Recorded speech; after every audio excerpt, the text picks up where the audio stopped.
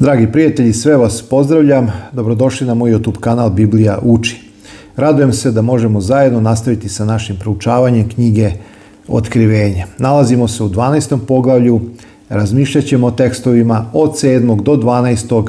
gdje je opisan početak rata na nebu i njegov nastavak na zemlji. I posta rat na nebu, Mihajlo i anđeli njegovi udariše na ždahu i bise aždaha i anđeli njezini. I ne nadvladaše i više im se ne nađe mesta na nebu. Izbačena bi ždaha velika, stara zmija koja se zove đavo i sotona, koji vara sav vasioni svet. Izbačena bi na zemlju i anđeli njezini izbačeni biše s njom. I ču glas veliki na nebu koji govori Sada posta spasenje i sila i carstvo Boga našega i oblast Hrista njegova, jer se zbacio padač braće naše, koji ih opadaše pred Bogom našim dan i noć. I oni ga pobediše krvlju jagnjetom i u svjedočanstva svojega i ne mariše za život svoj do same smrti.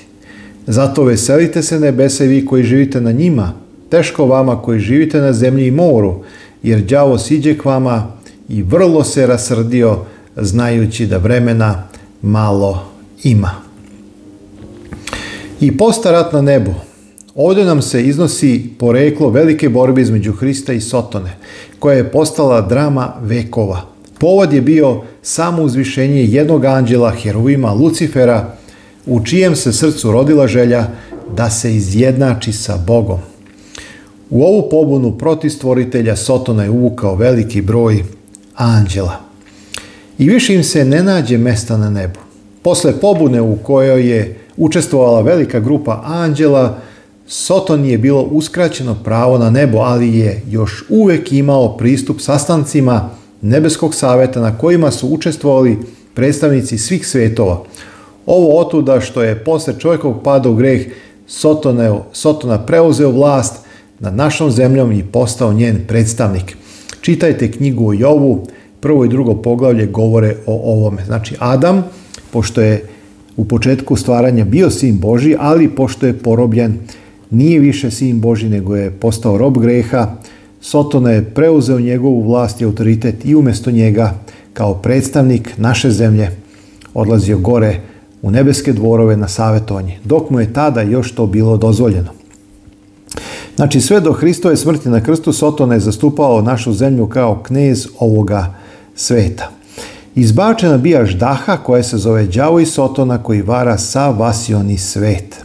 Pošto je Sotoni uskraćeno pravo da ostane na nebu, on ulaže sve svoje napore da prevari prvog čovjeka na tek stvorenoj našoj zemlji. On je to pokušao i sa stanovnicima ostalih svetova, ali mu nije uspelo. U čitavom svemiru samo je naša planeta podlegla njegovom lukavstvu preko neopreznosti Adama i Eve. Zbačena bi na zemlju i anđeli njezini s njom – Velika borba između Hrista i Sotone počela na nebu povodom stvaranja plana o stvaranju čoveka. Kada je zemlja bila stvorena i predata Adamu u ruke, Sotone je usresredio svoje lukavstvo da prevari prve ljude, u čemu je, nažalost, uspeo. Od tada on polaže pravo na našu zemlju kao knez ovoga sveta. Ali konačno, proterivanje Sotone sa neba izvršeno je Hristovom smrću na krstu. Od tada on više nije mogao da ima dodir sa stanovnicima ostalih svetova. Niti mu je bilo dozvoljeno da dolazi pred Boga kao predstavnik naše planete kao ranije. Hristovom smrću na krstu zemlja je otkupljena, te otuda Sotona je od tada pobeđeni knez ovoga sveta. Proterivanje Sotone kao padača braće sa neba izvršeno je Hristovom smrću na krstu. Pokazavši svoje neprijateljstvo prema Hristu dok je visio na krstu Golgote sa ranjenim izmučenim telom i slomljenim srcem, Sotona je potpuno isključio sebe iz celokupnog Božjeg poretka ili svemira. I ču glas veliki. I on čuje poklike radosti na nebu zbog konačnog proterivanja Sotone. Sada posta spasenje. Ovo se odnosi na trenutak kada Isus izdahnuo na krstu. Hristovom smrću na krstu osiguran je Boži plan spasenja za palog čoveka. Grčka reč upotrebljena za spasenje je soterija, sa članom što znači pobjeda. Sotona je sada pobeđen. Celo nebo izražava svoju veliku radost u glasnom hvaljenju Boga i Hrista. Nebeski stanovnici sada sve dobro razumeju. Na Golgoti im je potpuno razotkriven karakter Sotone. On je sada potpuno pobeđen i onemogućen da dolazi na nebo. I svi se tome raduju.